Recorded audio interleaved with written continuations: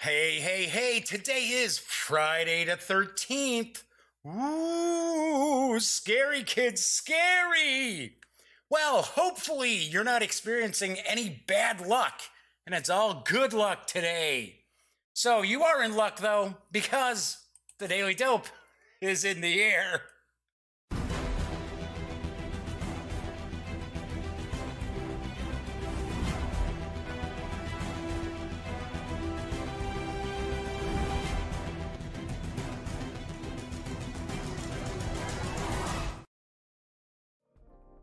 Howdy, howdy, howdy, gang. Yes, Jeff McAleer once again here as your host of The Daily Dope.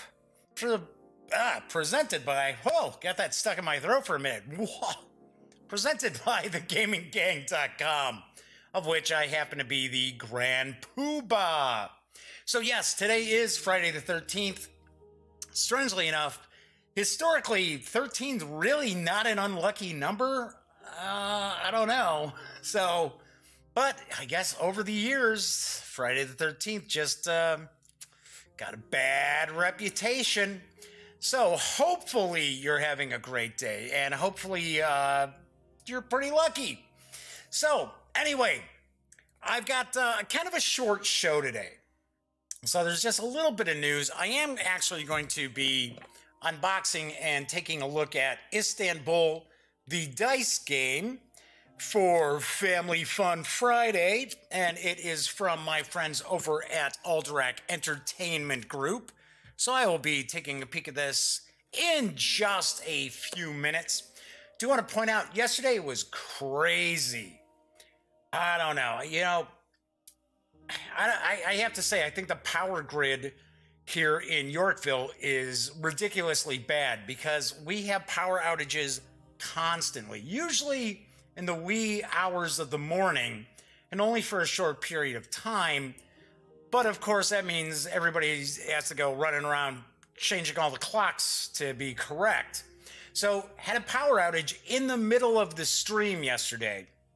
So, of course, the power was only out for maybe about 30 seconds. But of course, the router had to reboot. I had to reboot the computer, all these things. So, it ended up where the stream was broken up into two parts on YouTube.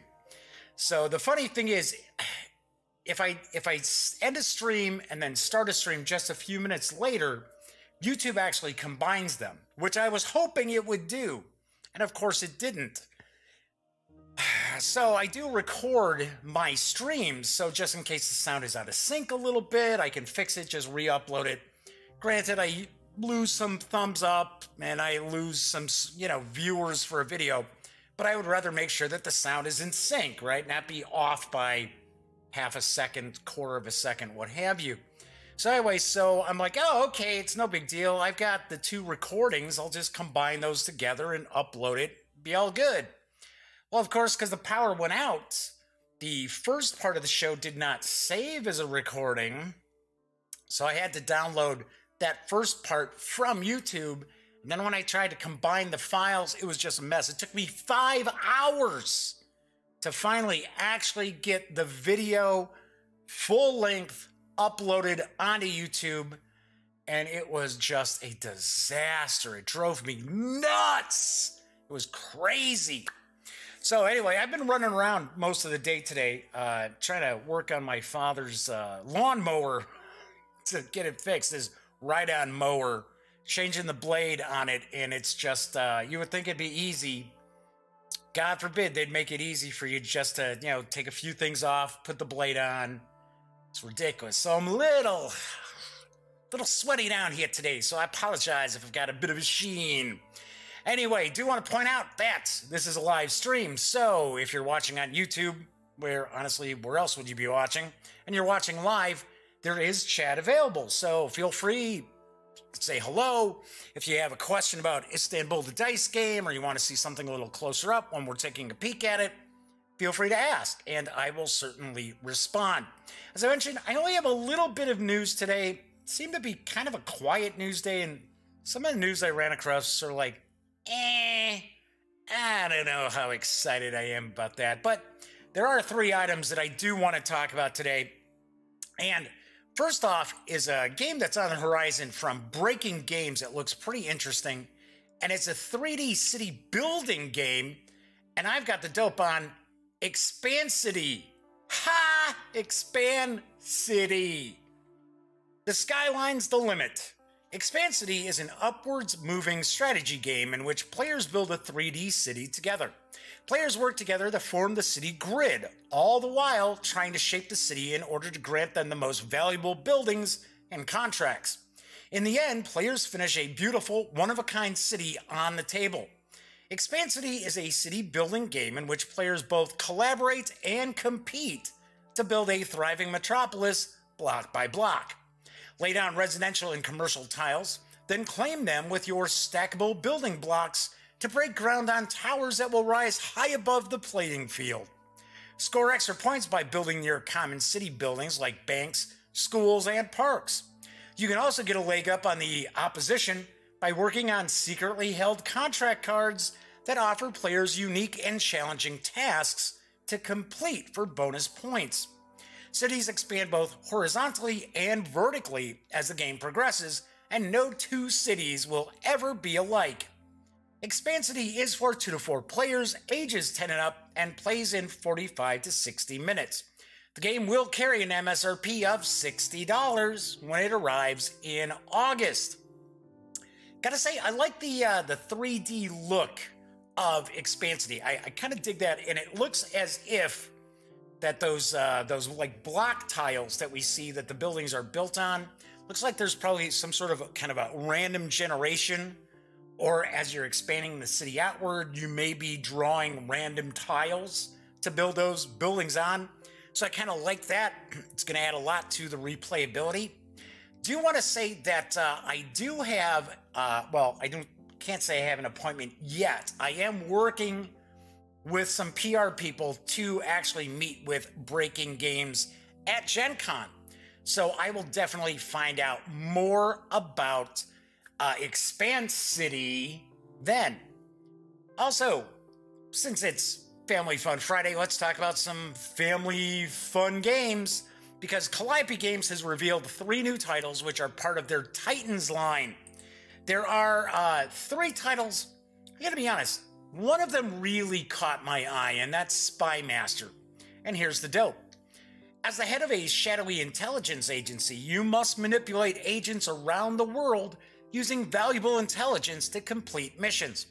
Crucial choices, daring actions, and perfect timing will allow your agency to manipulate the world and win the game. Spy Master takes place over five rounds. Each round begins with intelligence being gathered using the I split, you choose mechanism, with the Spymaster player divvying the available intelligence cards into files, after which the players go around and take one stack in a clockwise order, ending with the Spymaster. By playing intelligence cards from hand, players take turns moving agent meeples, both their own and ownerless freelance agents, into positions so that they can control the areas, meet mission requirements, and claim the mission cards. At the end of five rounds, the player with the highest value and accomplished missions, along with bonuses for remaining intelligence in hand, wins. Spymaster is going to be for two to six players ages 8 and up, and will play in about 30 to 60 minutes.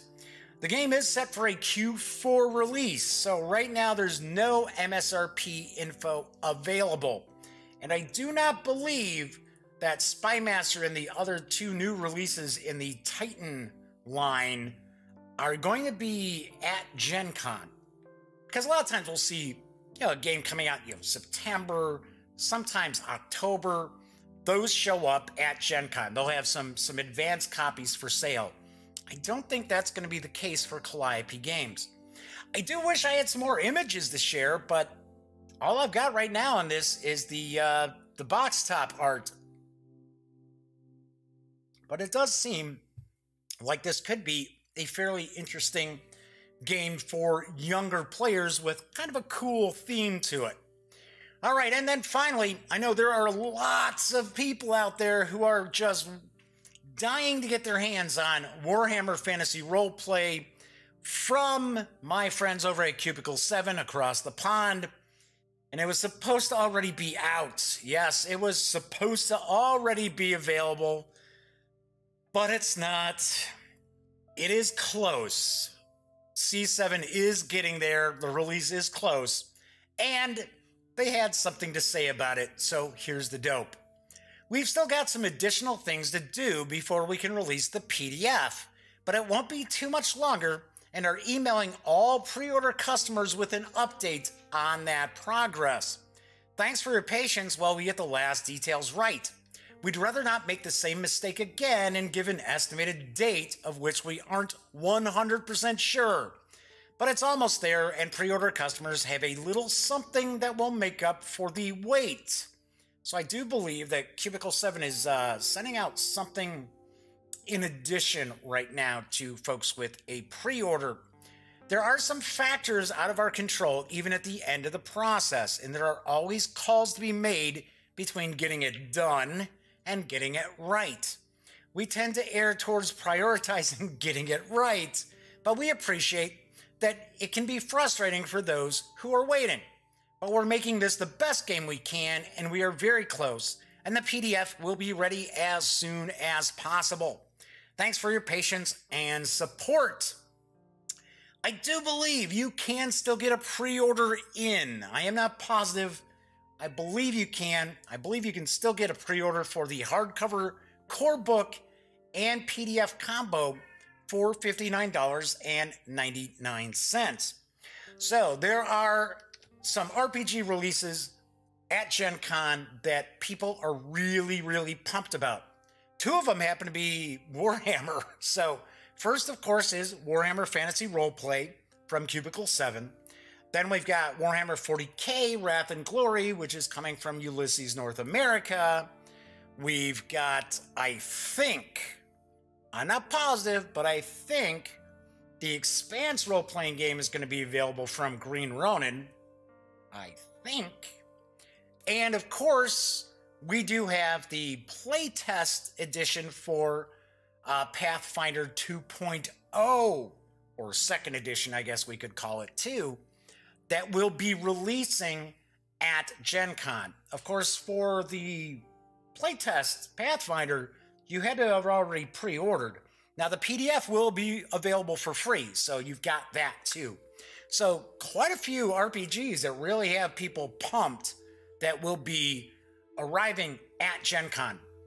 And according to Cubicle 7, from my understanding, they are still figuring that Warhammer uh, Fantasy Roleplay will release at Gen Con.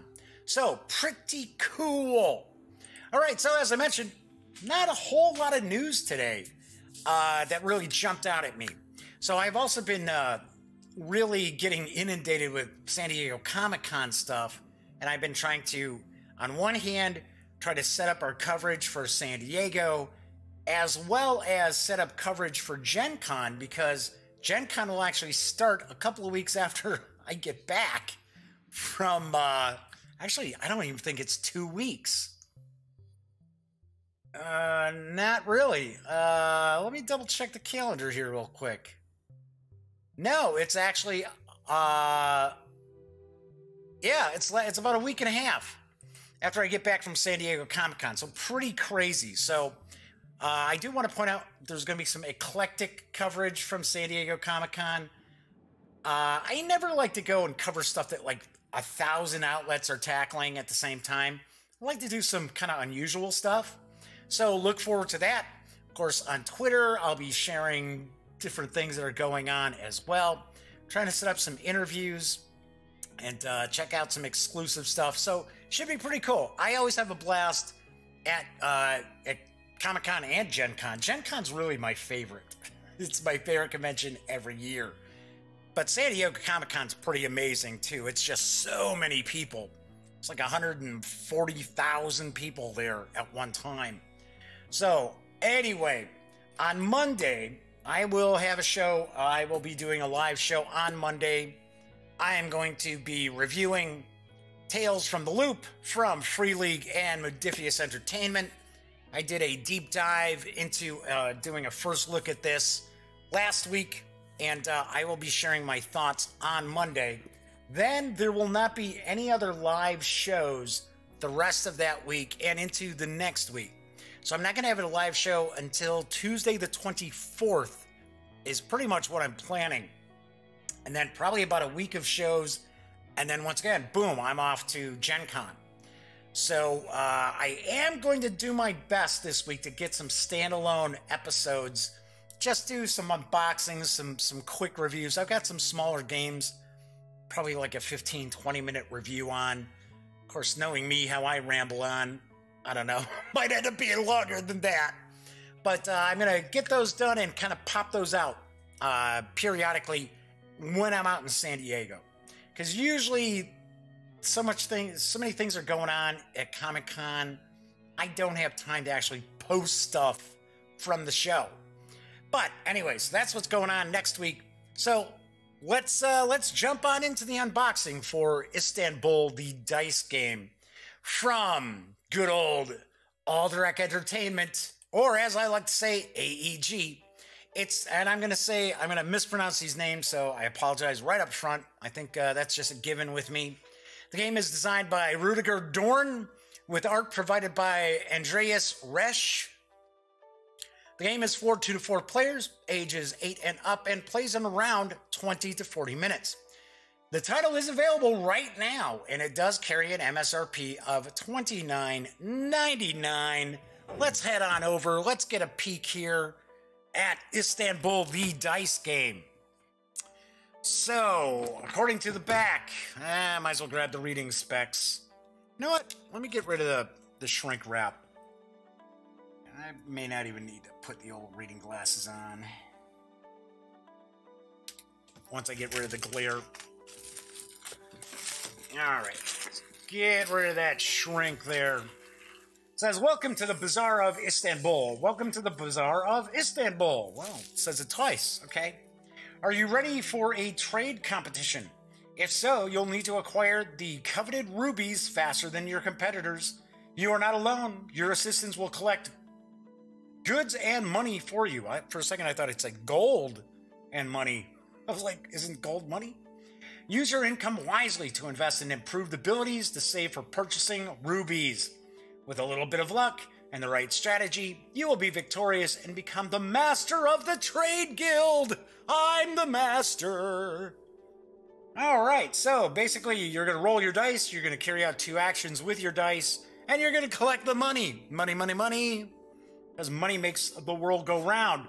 This is a standalone dice game set in the world of Istanbul, which is a board game, an award winning board game which uh, I want to say came out quite a few years ago. I mean, not like 30 years ago, but I mean, I think it's more than 10 years ago. Okay, so we've got uh, some advertisements from AEG. Uh oh. Love letter. Love letter's gone. Love letter's no longer available. It moved on to, uh, wasn't it Z Man Games picked it up? So, aha. And of course, we got Smash Up. I have the uh, the latest expansion for Smash Up with the four new factions, uh, and I want I don't think it's out yet. It's uh, oops, you did it again. So it's four factions that, uh, strangely enough, had not been covered yet. That I guess were fairly obvious. All right, so we've got the rule book here. Oh, one thing changing, yeah, to change the direction here. I do have a game that uh, I got from North Star Games that has been under embargo. It's under embargo until the 16th. And what I'm going to try to do this weekend is I'm going to actually shoot uh, kind of a first look video at it because I only played it once at Origins uh, for a press event. And I don't do reviews on just one playthrough of a game.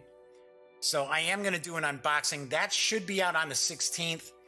I'm not even going to tell you what the name of the game is, so you're going to have to check it out. On the 16th, I should have that video out there. But we're talking about AEG and Istanbul the Dice game. So, pretty cool artwork here. So, it's talking about an introduction, the components, an overview and goal of the game. This I am going to put my reading specs on for. There we go. You are a trader in the Istanbul Bazaar with the goal of being the first to acquire six rubies. In a four player game, five rubies. You'll need money and goods to purchase rubies, and for those, you must depend on your assistants, who are represented by the dice. Okay, so uh, the six icons indicate Bazaar cards, lira, and four types of goods cloth, fruit, spices, and jewelry. Okay, so we get a game setup. That's showing us how to set the game up.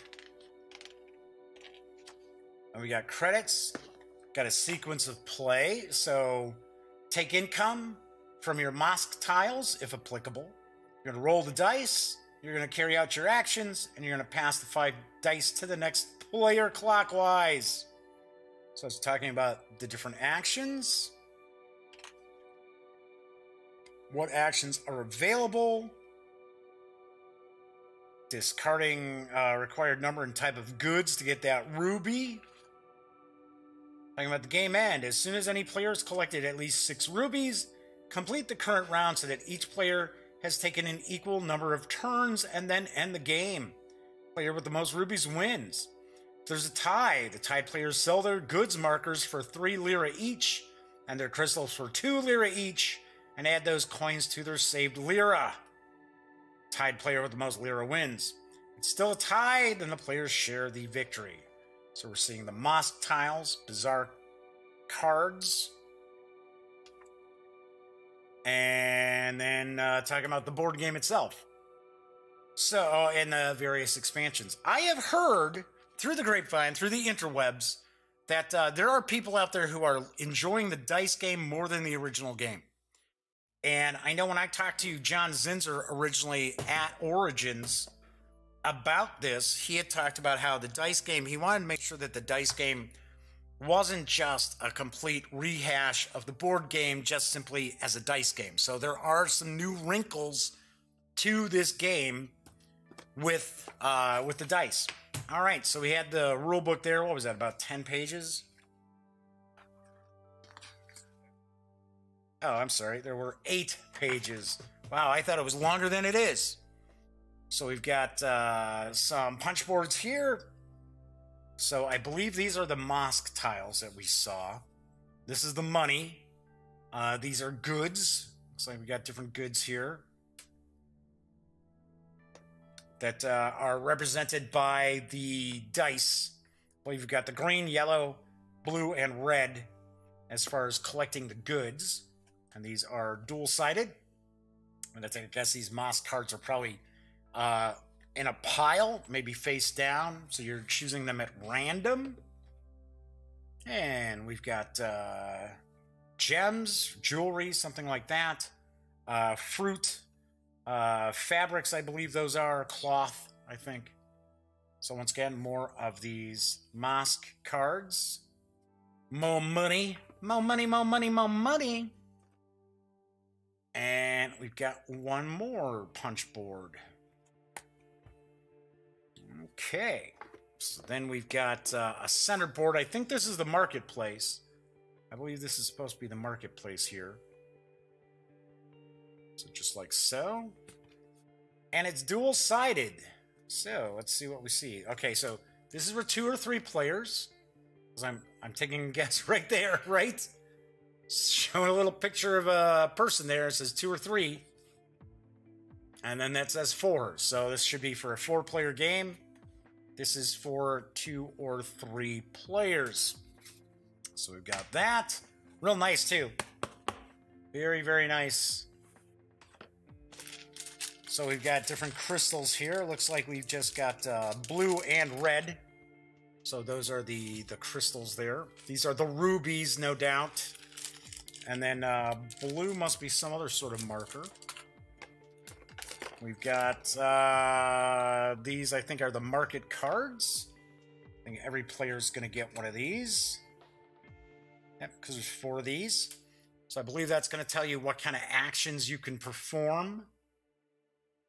So it looks like maybe this is like two of a kind, three, uh, three of a kind, four of a kind as far as the um, the colored uh, dice sides here.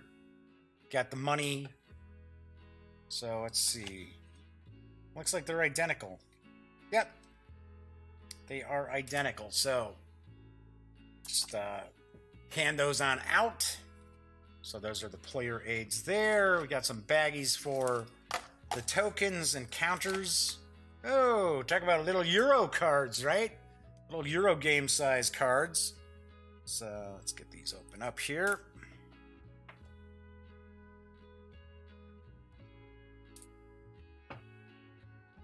And of course, I can't get it. Come on, you. There we go. Always have that handy dandy hobby knife around. And always put the cap back on the hobby knife. I don't accidentally stab myself. Alright, so we've got the different cards here. Looks like we've got a few of the same. Or at least very similar. I'm gonna be uh, completely truthful. I never played Istanbul. Um, not that you know, it's not as if I have anything against it. It's just uh, I don't tend to play a lot of Euro style games.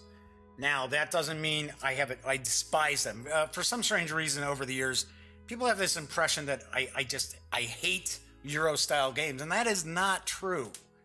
Uh, I am not a fan of games where you feel like you have absolutely no interaction with other players. That your the actions you take do not affect other players in the game. That's what I'm not a big fan of. Now there are plenty of Euro games out there that whatever actions you take or the strategies you utilize do affect the other players. So I dig that. It's just I'm not real big on the the sorts of games where it's kind of like kind of like a puzzle. You're just you're playing your you're just by yourself really playing your piece of the puzzle and you're playing almost as if you're in a vacuum. That I'm not a fan of. But uh, I have ab- absolutely no beef with Euro style mechanics whatsoever. Uh, just reviewed Raiders of the North Sea. That's a Euro game. Really liked it. Uh, Clank you know, a deck building adventure, that is very Euro-y as far as a deck building game. We love it. So there are a lot of different, uh, even like going back old school, like Havana from Rio Grande Games. Really, really enjoy that. It's a pretty light game, but so all right. So we've got these uh, different cards. I I believe these are the market cards. These were, uh, I think I said these are market cards. These are just player aids. I believe these are the market cards here. And then we've got the dice. All right, so uh, they are not cut dice, but we've got 10. No, we got nine. Okay, so we got nine dice. And we've got, let's see. Okay, so the, we've got the red, which I believe is the cloth. We've got the green. Is green like food? No, yellow I think is food. Where's green? Uh, greens looks almost like goods of some sort. Then we've got the blue, which are is like jewelry. And then we've got the yellow, which is uh, like fruits. And then the gray represents, not sure, uh, I know this represents money, so if you get that, you're going to get money. Let's see, what does the gray represent? Let's go back to the rule book real quick. I was talking about the die sides. Six icons. Uh, bazaar cards, that's what it is. This represents being able to draw a Bazaar card. All right, so we've got the dice. Nice, these are like really light dice. Uh, they are plastic. For a second, I thought they were kind of a wood die, because sometimes those wooden dice are really, really light. But no, these are plastic, and they are super, super light. So we've got the nine dice. We've got the market cards. Put this all back in here. We've got the rubies and then these blue crystals. We have the market board.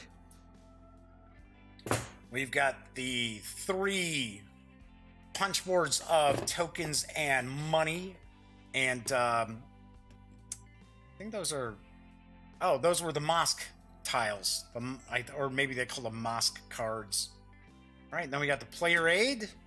Got a bunch of baggies, as well as the rules. And that is what we find in Istanbul, the dice game, when we take everything outside the box. As I pointed out before, Istanbul, the dice game is available now. It is uh, for two to four players, ages eight and up, and games tend to run about 20 to 40 minutes. And it does carry an MSRP of $29.99. So I'm not sure if I'm going to get to do any real gaming this weekend. So it'll probably be a little bit before I have an opportunity to get a review of Istanbul out there. Maybe a week after I get back. So probably during the week between coming back from Comic Con and heading off to Gen Con, I should probably be able to get a review out. So it looks kind of neat. Uh, I kind of kind of dig uh, kind of trading games sometimes, but uh, we'll find out. I don't know. All right, so as I mentioned when I started the show, it was going to be a pretty quick show today. And that is it for Friday the 13th. Fingers crossed. Fingers crossed out there that everybody has lots of good luck today, not bad luck. So, when you're not watching the Daily Dope or other videos on the Gaming Gang channel, be sure to go visit thegaminggang.com for the latest in gaming news, reviews, comics, movies, TV. Well, by now you know the drill. Get your geek on at thegaminggang.com. I will be back on Monday and I will be reviewing Tales from the Loop, the role playing game from Free League and Modiphius Entertainment. So until then, have a very happy and very safe weekend. I will be back on Monday. And as always, thank you very much for watching.